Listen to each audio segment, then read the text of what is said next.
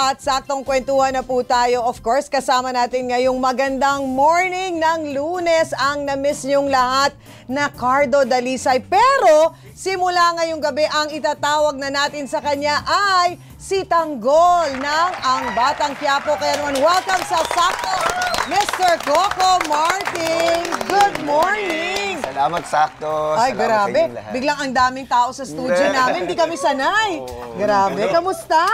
Kamusta ang umaga? Kamusta? Natulog na ba? Yung totoo? Hindi pa.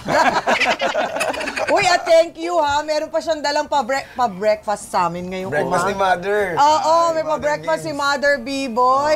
Eh, pero bago natin ituloy ang kwentuhan, tawagin muna natin ang isa sa yung mga leading lady. Ay, tinawag na natin Surprise kanina. eh. guest, oo. Surprise, hindi na Ay, may surprise. electric Ayan, may May dalang bit- electric may fan bit- pa bit para pa. sa'yo. Naiinitan ka daw ba? May Oo. bit-bit pang Ayan ang surprise fan, natin. yan. Siyempre, may surprise kami sa'yo. Ayan, Labi si- po. Ay, welcome. Si Pulubi po. Si Palabi po. Dala pang electric. Pati akong trabaho. Ah, siya talaga ang biggest fan mo. Oo.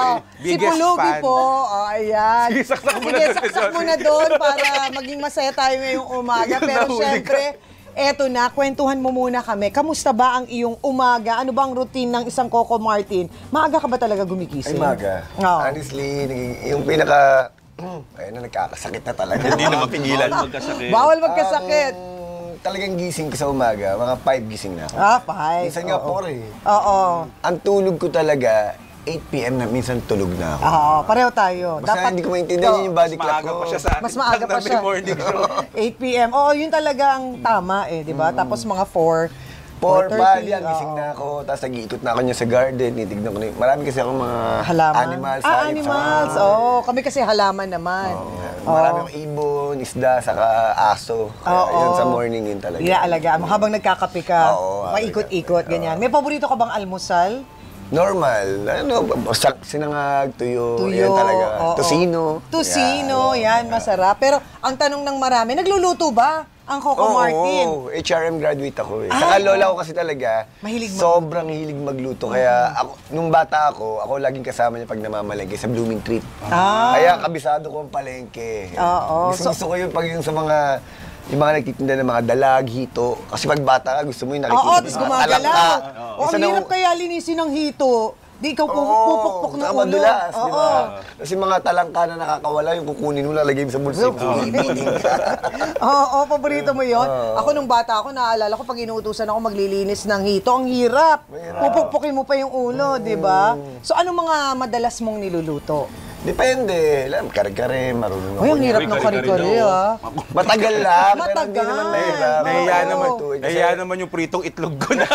At saka ano, syempre, yung, yung paggamit ng mani, dapat, didikdikin mo talaga. Saka meron pa yung ano, meron pa yung bigas, di ba? Oo, may bigas. Oo, oo, pampabango, oo, oo. Diba? Eh, bukod sa pagluluto, ano bang hobbies mo? Kasi marami tayong nakikita ngayon. May mga nag-golf, may nagba... Ito, nagba-badminton, ah, nagmumotor. Ikaw, ano ba ang hobby mo? Dati kasi, no, mahilig talaga ako sa motor. Oo. Kaso lang, syempre, Nawalan ng time. Nawalan, pag nawawalan ka rin ng time, saka, honestly, dumating din sa point na iwas disgrasya. Iwas, oo. Pag nagmumotor ako talagang piling-pili lang pag alam ko kasama ko yung sila Tito Mike, sila Prati, mga barkada sa probinsyano, yan. Oh, may grupo din kayo, di ba? Pero Oo. kung mag-isa lang, minsan naaano ako dahil May nga, kaba minsan, na. May Oo, kaba. may kabe. Tawag dyan tumatanda. Ah, grabe siya? Hindi naman pag Talaga? tumatanda ka dati, parang pag bata ka, gagawin mo Sige talaga. lang, eh. Oo, Sige lang eh. young and free, Oo, ngayon, ganyan. pero pag bata na, may papadalawang isip ka, saan gusto ko ba Doble to? ingat. Oo. Pero dati, nung bata ako, sa Nambaliches, kasi dati nagta-tricycle din ako. Nung walang college ako eh. Oo. May tricycle kami. Pag gabi, pagka garahe na, tulog ng mga lolo't lola ko, tinatakas ko. Babiyahe ako ngayon. Pag yung kinita ko, ang gag, siyempre, pag kabata mo, kal- ma- maloko ka eh. Oo, kalokohan. Nakikipagkarera ako sa Quirino Highway. Oo, eh, bawal yun. bawal. Bawal na po yun, ha? Malakas Huwag yung gagawin. Oo. Tapos nung college, yung nakipagkarera ako, sumemplang ako. Oo. Tapos yun talaga to, sino to buo lahat.